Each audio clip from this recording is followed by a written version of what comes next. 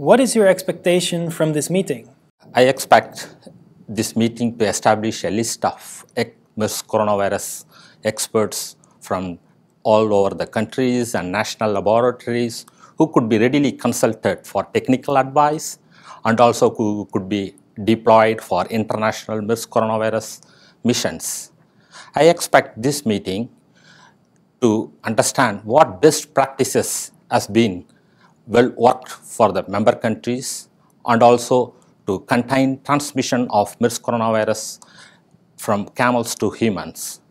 I expect this meeting to provide insight into what worked well and what has been done to contain the transmission of MERS coronavirus from camels to humans. Current scientific evidence suggests that dromedary camels are a major reservoir host for MERS-CoV and an animal source of MERS infection in humans, although the exact role of dromedaries in the transmission of the virus and the routes are unclear. What is OIE's role in understanding this process better, and why is it important that we understand it?